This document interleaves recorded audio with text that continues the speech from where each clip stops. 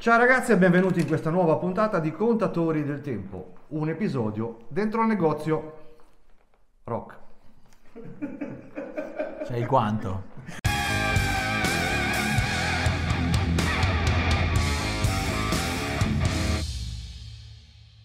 Eccoci qua come ogni tanto capita qua dentro la baracchetta dell'amico Giacomo, siamo tutta una combriccola per la solita puntata delle domande e risposte che ci fate tramite Instagram. Quando apro una storia poi voi fate le domandine, io scelgo quelle un pochino più coerenti, no? O più che, più che altro quelle di cui abbiamo gli orologi, perché altrimenti no, poi dopo, vero? Dico, eh? Con le piccanti. Poi abbiamo qua l'amico Giacomo, naturalmente, che è il titolare della gioielleria Pasquali Domenici. Abbiamo l'amico Piero, che purtroppo è presente anche lui deve, eh, dovete sorbirvi mentre lui legge le domande, mentre si arrampica sulla salita, perché d'altronde è quello che è. E poi abbiamo i due ospiti, che Gianni e Roberto.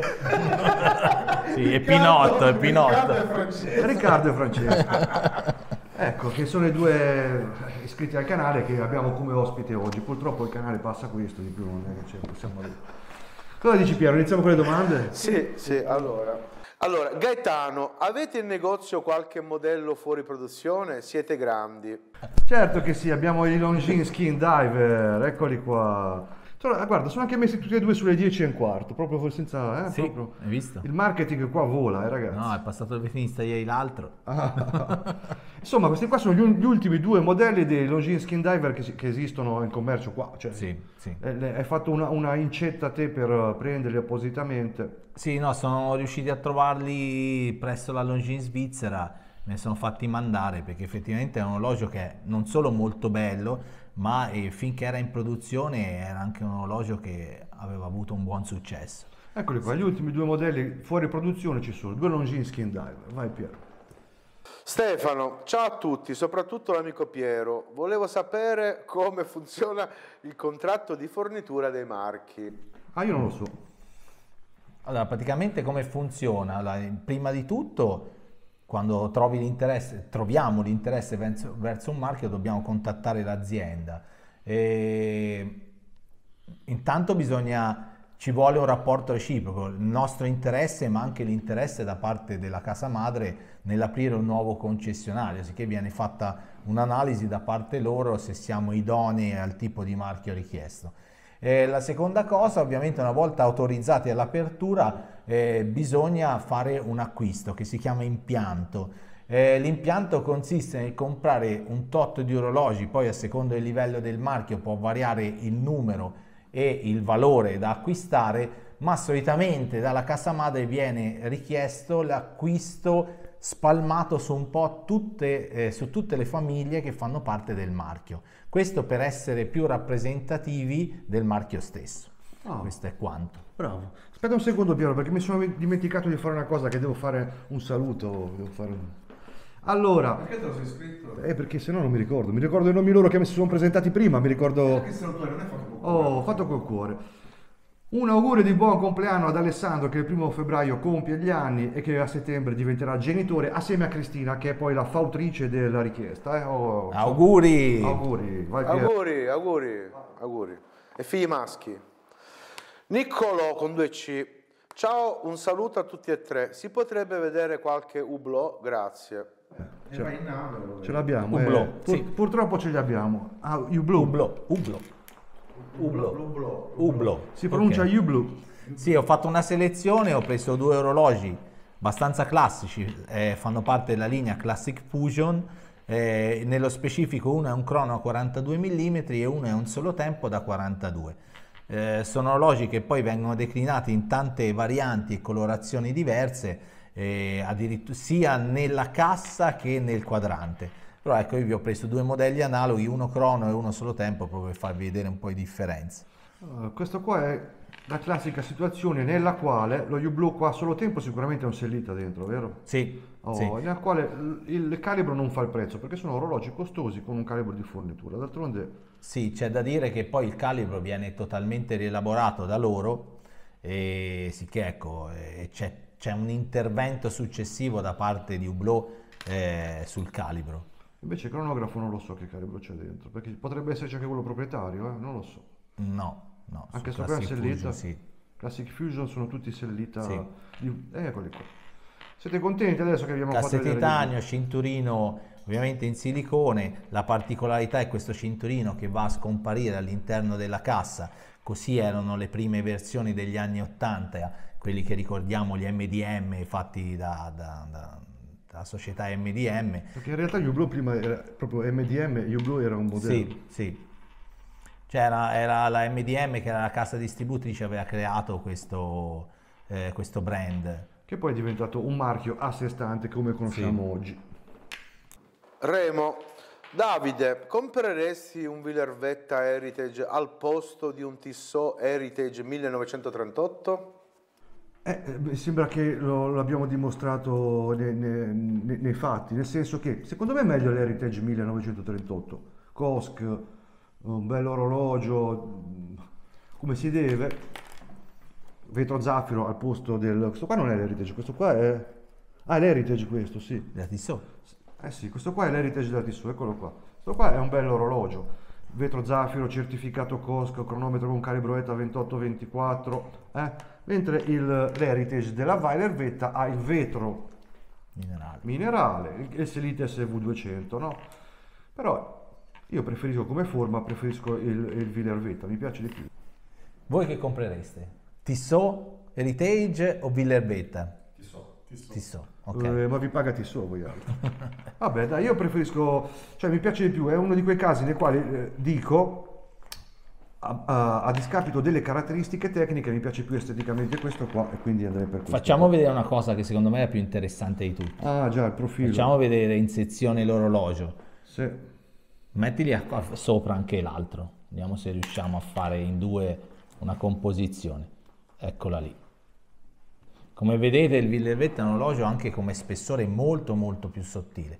Monta un Sellita SV200, però sono riusciti a fare un lavoro di spessore veramente incredibile. Certo, le finiture delle- del Tissot sono migliori, eh, guarda qua, si vede, Sì. questo qua è tutto lucido, ci vuole poco a farlo. Però mi piace più il Wiener Vetta, ragazzi, poco... Vabbè, passo la, la prossima domanda a Riccardo e la facciamo fare a lui. Vediamo se sa leggere come leggo io. Sarà dura. Vai. Luca, complimenti a tutti. Come procede il marchio Armand Nicolet? Comincia ad avere attrazione da parte di appassionati delle- dell'orologeria? Siete grandi. Armand Nicolè si dice, ha detto giusto? ha Ha detto giusto perfetto, allora. perfetto. Devi rispondere te, eh. Allora, eh, il marchio è andato bene, abbiamo venduto qualche famiglia, è andata meglio rispetto ad altre e devo dire la verità, mi aspettavo, eh, vedendo il prodotto come è rifinito, le fasce prezzo e tutto, eh, una- un lavoro eh, migliore rispetto a quello che è stato sviluppato. Eh, ovviamente le, le analisi da fare sono tante e difficili, eh, dobbiamo anche capire se ovviamente eh, il cliente non ha, non ha recepito bene la tipologia del prodotto oppure preferisce, magari visto la grande offerta che c'è nel mondo eh, dell'orologeria, dare priorità ad altri brand piuttosto che a quello. Ovviamente per noi è un marchio interessante, continuiamo a lavorarci sopra e a presentarvi le novità. Thomas, ciao a tutti. Vorrei vedere se fosse possibile il rado di Astar con quadrante nero al polso. Grande Piero. Bravo, lui mi piace come legge, lui mi piace. Si, si inventa anche le frasi finali. E questo va, è il quadrante grigio con due toni diversi, gli ho preso quello, poi esiste anche la variante tutta nera. Sì, questo qua è, è- praticamente questo qua è il quadrante grigio, invece quello che chiede lui è tutto nero. Tutto nero, sì. Va bene, comunque ci siamo quasi come stile, come l'abbiamo già fatto vedere anche in passato sto qua. Sì, sì, sì, tra l'altro questa è la nuova versione con la cassa più magra, prima erano un pochino più abbondanti di Astar, poi spero che non tu ti riferissi a quello precedente come modello. Noi ti facciamo vedere l'ultimo perché è quello più attualizzato. E la cassa in ceramica, no? Tungsteno. Tungsteno? Sì. E allora sai cosa facciamo? Proviamo. Lo proviamo al polso così sono tutti contenti. Sapevo io. È una tipicità del marchio o si ama o si odia.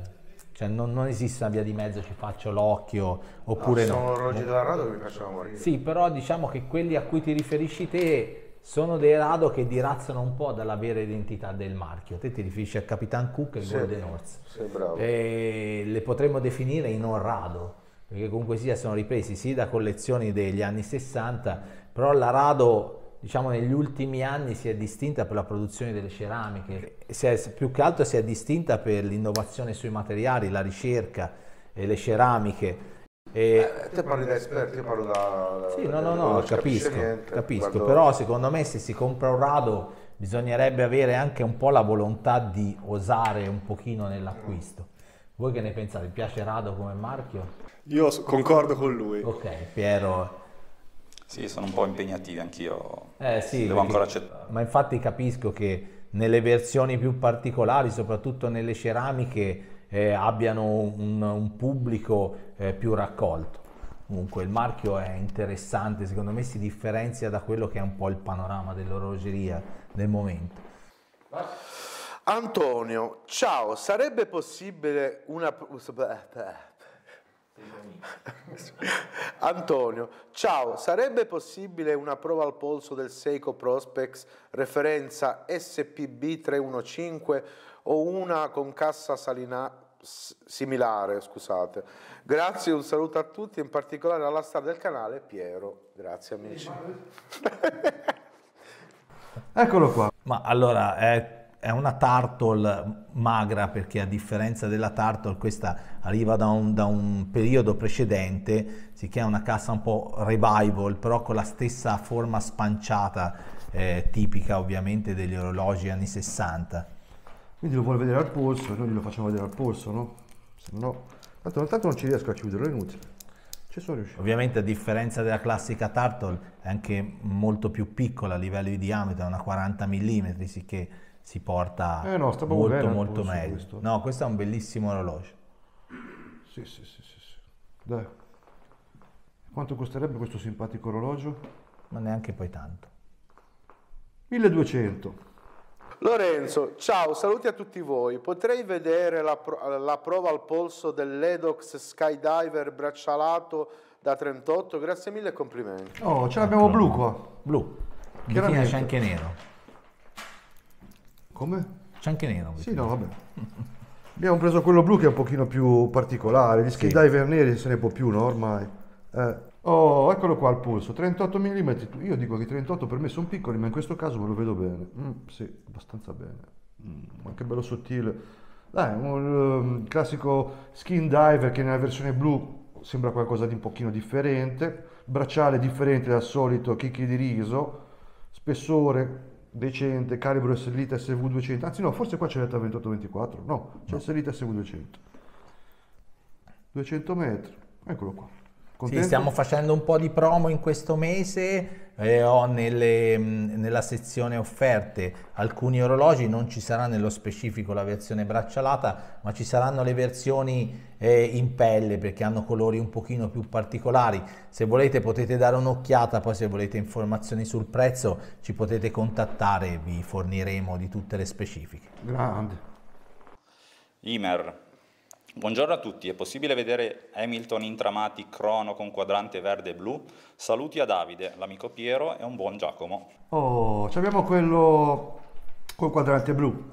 Eh sì, perché giustamente l'amico qua dice che vanno sempre di moda, si prendono sempre in considerazione quello panda quello reverse panda come ho io, sia la carica manuale che carica automatica. Questo qua è automatico perché c'è la finestra data, non si sbaglia. Sì. Poi Sì. c'è anche scritto, vabbè. Ma ha ragione, ha ragione, perché ormai Sì. il panda sta... che poi dopo, diventando poi una moda, tutte, tutte le aziende si allineano con quella tipologia lì di quadranti e, le- e poi dopo sembra di, di- di- di presentare gli stessi orologi su tutti i brand.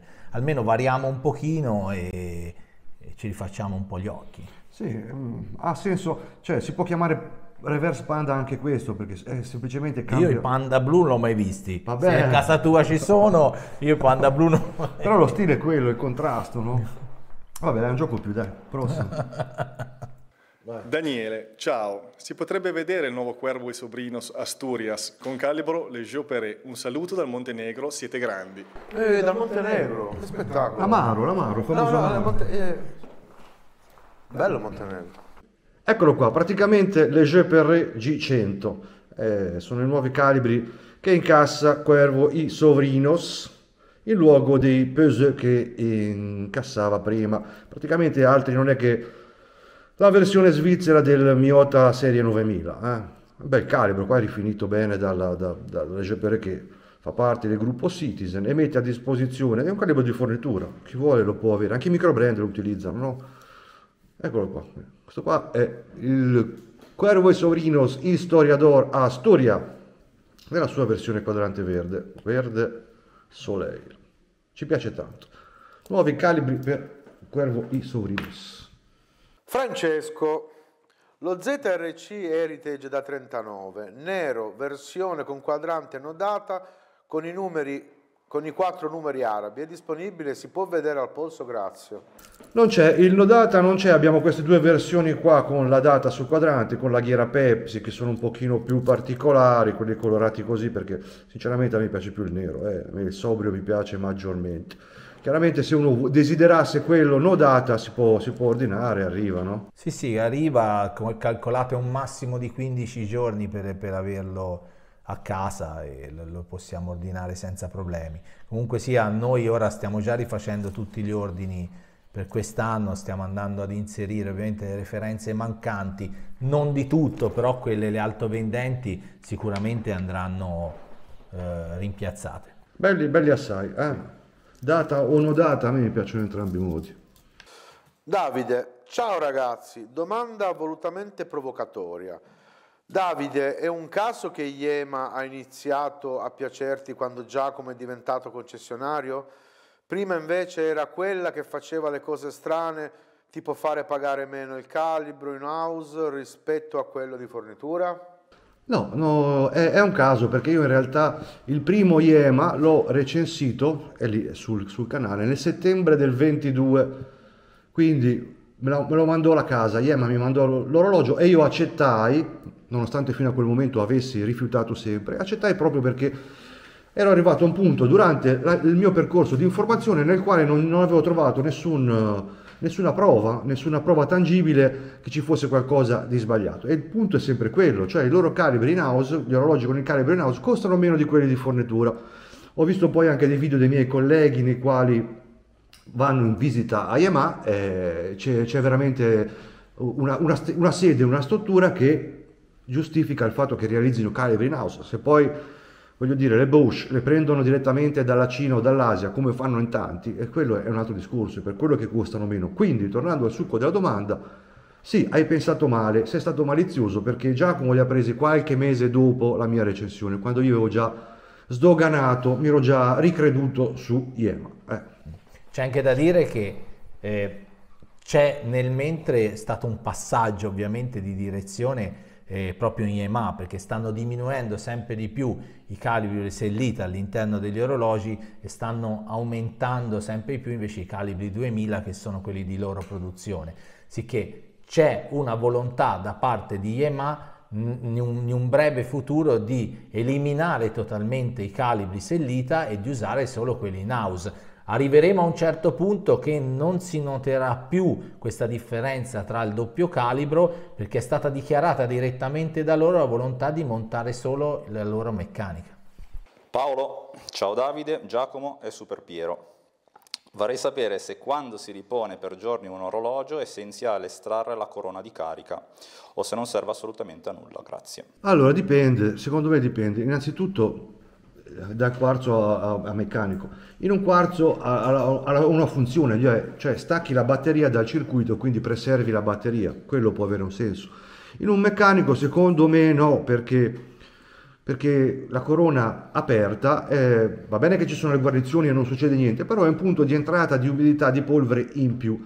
E inoltre, secondo me, secondo il mio parere, eh, non è che è scienza, un orologio è bene fargli scaricare la molla di carica fino alla fine, cioè rimane lì inerte piuttosto che aprire la corona e lasciare la molla di carica in tensione, rimane in tensione ferma lì per tanto tempo. Secondo me è così. Poi che cambia poco, cambia nulla, eh, siamo, eh, i discorsi sono quelli. La verità è che gli orologi più camminano, più funzionano, meglio è.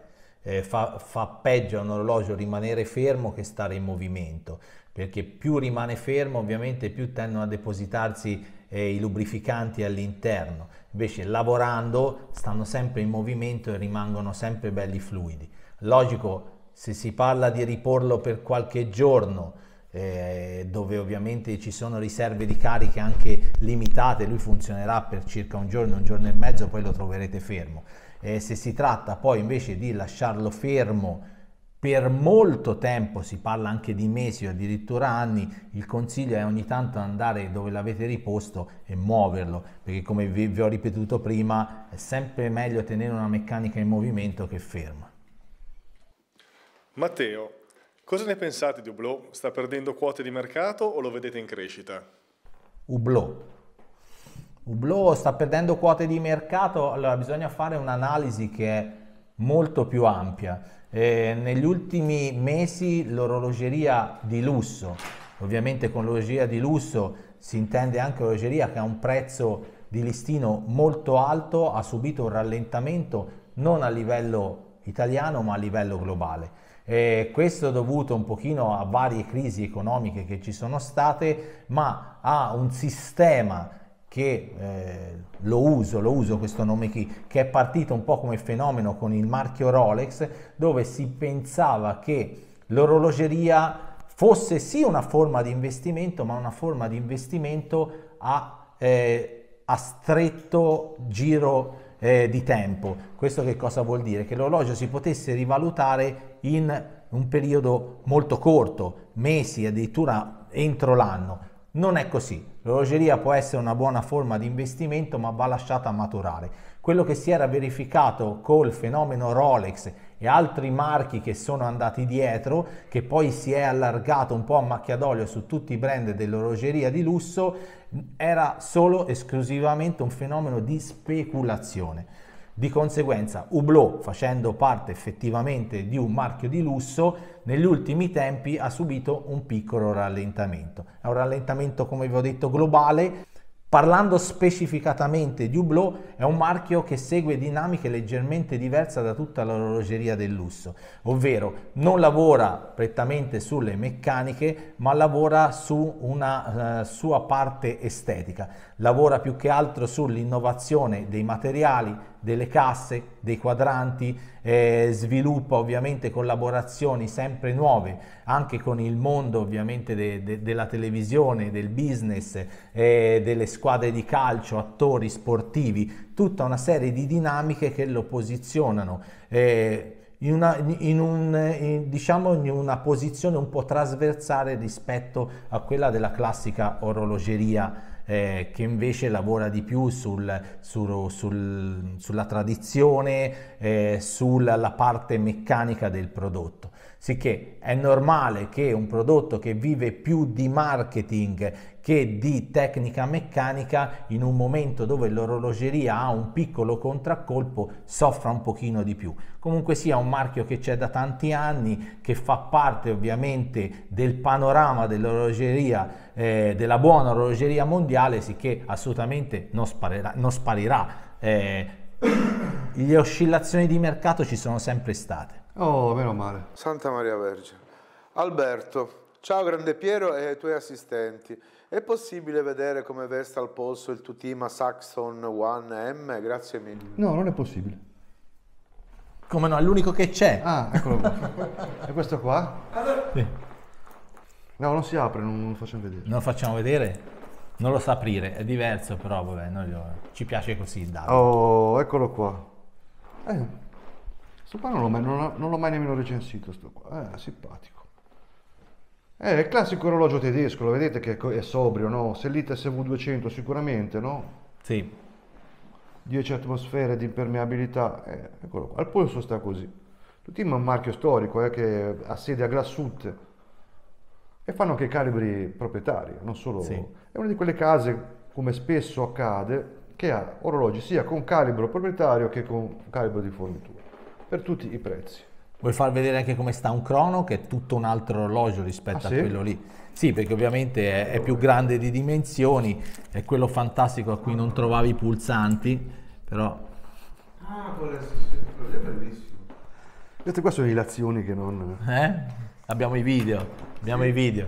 E lì l'aveva tagliata la parte. Eccolo qua, il cronografo. Questo qua è un simpatico cronografo che ha la particolarità di avere i pulsanti start e stop che sono integrati alla cassa, eccoli là. Io non li trovavo l'altra volta, quindi mi prendono un giro, ma è perché non ci vedo bene, capito? Tutto lì il problema. Simpatico, dai, un po', eh, insomma, presente al polso, eh. Sì. Dai, bello orologio. Però polso permettendo, a me l'orologio un po' abbondante piace. Eh? Ugo, quanti marchi avete in negozio? Più di 30 non mi ricordo effettivamente più quanti, però più di 30, andiamo per i 35. Poi ogni tanto qualcuno entra, qualcuno esce, a volte per, eh, per scelte nostre, a volte non direttamente per scelte nostre, poi cerchiamo sempre ovviamente di inserire durante l'anno qualcosa di nuovo, anche per ovviamente dare da parlare un po' a Davide, se no poi si perde un po' così nel nulla. Mirko da Civitavecchia. Ciao Davide, Giacomo e all'amico Piero. Confronto tra Doxa Sub 300T e Oris Aquis 41 mm. Ciao a tutti e soprattutto a Piero. Allora, 300T e poi ovviamente di 41 devono arrivare, però vi faccio vedere questa versione un pochino più ricca perché ha la lunetta Ma è da 41 questo? È da 41,5. Sì, va bene, quello lì Sì, intendevo. 41,5, calibro ovviamente di manifattura in quel, in quel modello lì, è un pochino impreziosito dalla lunetta in oro 18 carati. Eccolo qua, il confronto è questo qua. Sono due orologi completamente diversi, Sì. quindi che, che minchia di confronto vuoi che facciamo? Cioè, Dai, trattali bene, Foll, non fare così, su. ma fai il confronto, fai il confronto fra questi due. Uno è bello e uno No, è bello. allora, una- il Doxa è un orologio di stampo puramente vintage, così era e così è stato replicato oggi. Classico bracciale con la maglia a chicco di riso centrale.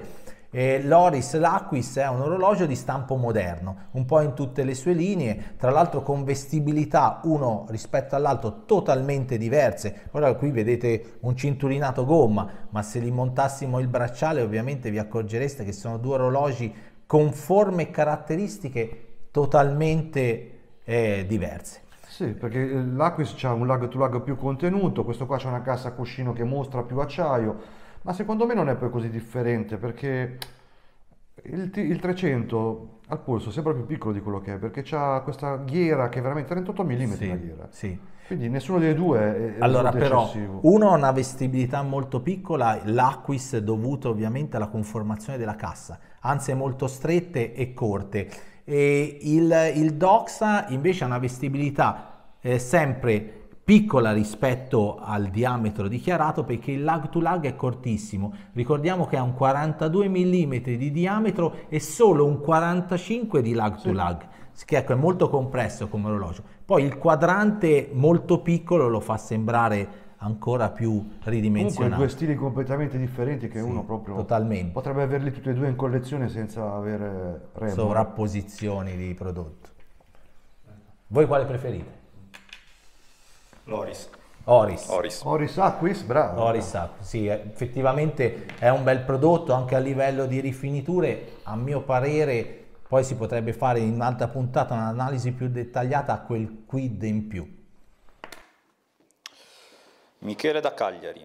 Buongiorno a tutti e complimenti per il bel lavoro che fate. Volevo chiedere se era possibile vedere lo Zenith Defy Skyline Skeleton nella versione blu. Grazie in Un anticipo. buon gustaio il sardo, eh? Bravo, bravo. Ci abbiamo il nero che vabbè comunque, eh, eccolo qua. Orologio che lo Zenith Defy mi piace un casino e mi piace quella versione tutta ceramica nera che abbiamo visto l'altra volta in negozio che non c'è più, vero? Eh? No, forse ce l'ho ancora, non sono sicuro perché siamo in tanti qui a vendere. Eh, eccolo qua. Questo qua è scheletrato, è scheletrato in una maniera talmente contemporanea da sembrare quasi un'opera d'arte. Io comprerei quello con il quadrante è pieno, però ha il suo perché anche questo qua. Dai, eccolo qua, 41 mm. Se magari lo facessero 39 sto orologio qua. No, ma dai, la vestibilità dell'orologio è buono, bracciale integrato, cassa eh, senza anse, sicché ha una buona vestibilità lo stesso. Eh, C'hai, c'hai il polso, sembri un cinghiale, poi l'orologio Vabbè, ma sono una persona fine, mi ci vuole l'orologio fine. sì, hai ragione.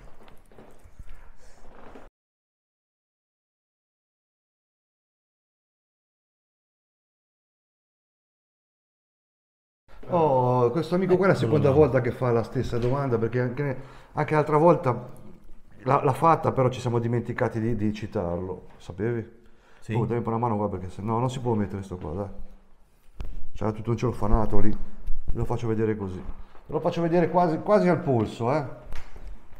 Quasi al polso. È un orologio di forma, eh, di quelli che non sono tante le case. Oris non la fa più, vero? Sto No, è no, no, era una capsule collection. C'è il Longines che fa... Dolce Vita, Dolce Vita. E poi mi sembra... e poi tutta una serie di quadrati, però ecco, rettangolari non tutte le case lo fanno, è stata un po' abbandonato questa forma, che tra l'altro è molto elegante. E una tipicità ovviamente per quanto riguarda il Federico Stante è la, la finestra sul quadrante che permette di vedere il bilanciere dell'orologio. Wow! E un piccolo, piccolo cenno tecnico, eh, è, una- è un dettaglio che ha inventato proprio Federico Stante. Ma come? Lui aveva, sì, la finestra sul quadrante, lui aveva la fissa di poter vedere la meccanica anche leggendo l'ora dalla parte superiore e l'ha inventata lui. Tra l'altro nella maggior parte delle collezioni Federico Stante eh, avete la, la possibilità di acquistarlo eh, co- con la finestra. Megoglioni, quindi ecco a chi dobbiamo dare la colpa per tutti gli orologi scheletrati quelli che a te schifosi. piacciono tanto. Mamma mia, quello... No, scheletrati No, no, open art. open art sì. Federi- Fe- Federico Costantini, no? Si Sì. chiama? Ah, Mattia da Siena, ciao a tutti, volevo chiedere a Davide cosa ne pensa del brand Fortis e a Giacomo se ci sia la possibilità di vederlo nel catalogo del negozio prima o poi. Grazie e continuate così. Eh, Fortis è un brand che a me piace molto, fa degli orologi ottimi, io glielo dico sempre di prenderlo in concessione e lui non mi dà mai retta. Sono ottimi orologi, un po' a livello di Zin, un po' eh, di, altri, di questi tipi tool watch. Sì, l'abbiamo valutato più volte, purtroppo la Fortis è difficile anche da contattare perché ultimamente non partecipa più alle fiere internazionali, sicché ovviamente anche per vedere il prodotto, stabilire dei contatti non è facile. Eh, l'unico ovviamente freno che ho nei confronti di Fortis è un pochino il prezzo. La Fortis in Svizzera è fallita, il tribunale svizzero, perché quando falliscono le casse orologiere vengono tutte gestite da un tribunale addetto, eh, è stata riassegnata ovviamente a una persona che ha rilevato il marchio e nella loro riproposizione del marchio hanno inserito tante collezioni nuove, tra l'altro molto belle, però se, se guardate bene, perché lo potete cercare sul sito ufficiale, i prezzi non sono così accessibili, sicché io già qualche volta che la visualizzo però poi dopo non venite a dire eh però sono cari, però poteva essere, perché quello è, non le, non le facciamo noi i prezzi, le fa la casa madre. Che ti ridi te? No, rido. Che ti ridi? Giuseppe, ragazzi, com'è possibile che si parli così poco della linea Elite di Zenith? Io li trovo particolarmente riusciti nella loro estrema pulizia e semplicità. Siete grandi, un abbraccio a tutti e soprattutto all'amico Piero. Sì, perché praticamente eh, io spesso vado a vedere sul sito Zenith gli orologi, no? perché Zenith è un marchio che merita di essere posseduto, collezionato e quelli io penso tu intenda quelli a catalogo adesso, non i vintage, perché in quelli a catalogo adesso tutti i modelli sono da 40.5 mm e per i miei gusti un orologio classico così 40.5 non va bene. Ci sono anche da 36 ma sono quelli femminili con i diamantini tutti intorno. Ecco, facessero un 36, un 37, un 38 da uomo, anche lì ne venderebbero una marea secondo me 40.5 non se ne sente parlare non li vedo mai anche nei video dei... non si vedono sono un po' troppo grossi per essere così poi magari all'estero nei mercati asiatici dove No. comandano Io penso che ci siano due fattori in questo momento per cui si parli poco della, della- della linea Elite. Eh, allora, la primi, in in negozio non l'ho mai visti No, allora ti spiego perché. La collezione precedente, quella che è uscita da catalogo e sostituita da quella attuale, a mio parere era molto più bella come linea. Si sono rinnovati, però come succede spesso su tante case, si sono rinnovati in peggio a livello di estetica e di conseguenza non hanno avuto il successo che devono fare. Poi la casa ovviamente si è concentrata sull'uscita di tanti prodotti che hanno avuto molto più PIL e hanno lasciato un attimo eh, da parte quel tipo di, di- di- di- prodotto.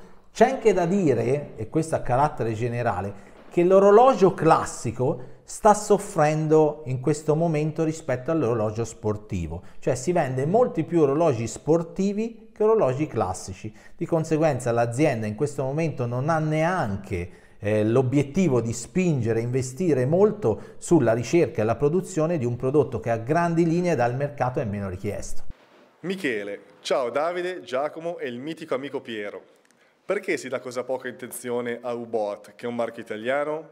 Hanno presentato parecchi modelli nuovi anche con diametri più ridotti negli ultimi anni, ma nessuno ne parla. Grazie e continuate così. Bella domanda. Ah, eh, vabbè, perché a me non mi piacciono, è tutto lì il punto. A me sì. Io non ne parlo perché non mi piacciono, se no sai quanto tempo potrei parlare. E qua ci sono, eccoli qua ci sono.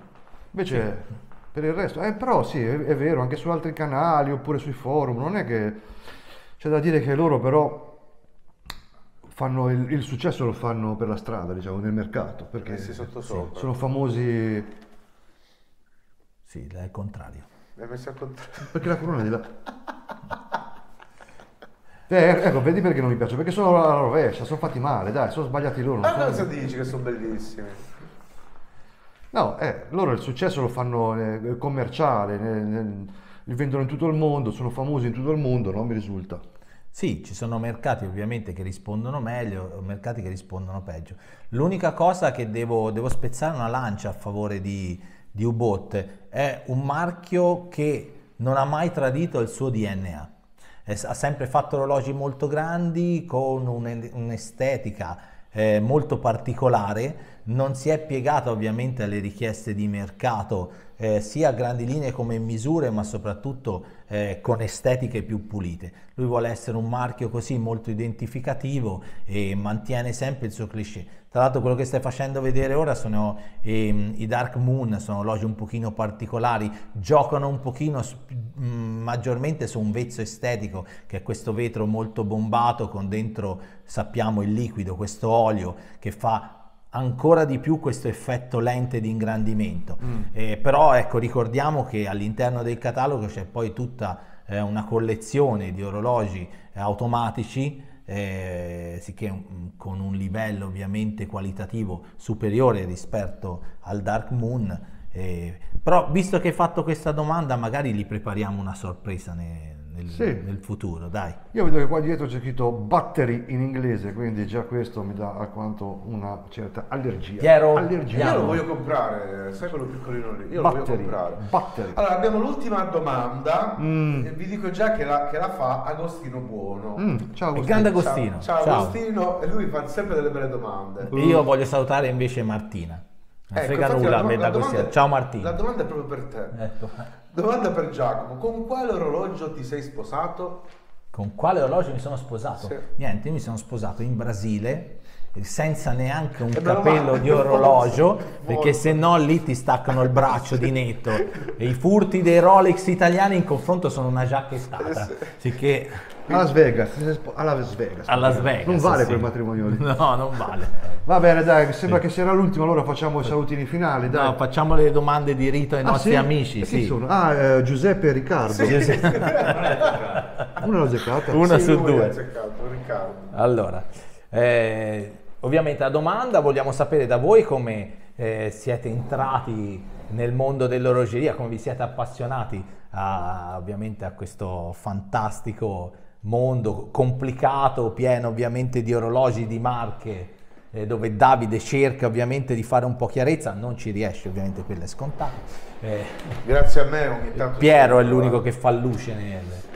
Diteci tutto. Ma da bambino, adolescente, orologio a batteria, Casio, classico, per poi passare a smartwatch e poi negli ultimi anni eh, orologi automatici. Quindi il primo regalo è stato un Rolex di mio padre, un Explorer 2 e poi mi sono appassionato io anche con i video di Davide e adesso ne sto passando un po' io a mio padre di orologi. Ok, che orologio hai al polso? Ho un Hamilton eh, Chrono Kaki. Ok, ottimo, che vedete è partito co- con, diciamo, con la buona orologeria, con un Rolex, la sua passione si sta allargando, non bisogna sempre andare poi eh, alla ricerca di orologi sempre costosi, lui ha fatto una scelta Si è differente. ridotto con un Hamilton. sì. No, no, ha fatto una scelta differente, ma altri, no- non, non per questo eh, non qualitativa, perché ricordo che si può comprare orologi di ottimo livello senza doversi indebitare a vita. Questo, e lui ha fatto una scelta, tra l'altro quello lì è un orologio che ha un ottimo rapporto qualità-prezzo, vi invito anche ad andarlo a cercare eh, nei vari video e ovviamente andando a vedere la fascia prezzo su cui è posizionato. E Francesco Vai, invece? Francesco, Io ho una passione per la meccanica e tutto ciò che può essere perpetuo e ci riporta indietro nel tempo, l'orologio è l'emblema di questo, di questo sentimento. E lo puoi seppellire, tirare fuori tra 200 anni, magari funziona ancora. E cosa c'è al polso? Io al polso ho un vecchio Seiko Presage. Ah, bravo, ma c'è il buco sul quadrante? C'ha il buco sul quadrante. Sì, non si può vedere. è colpa di Federico Costantino, è. Ti venite qua dietro che facciamo i saluti finali.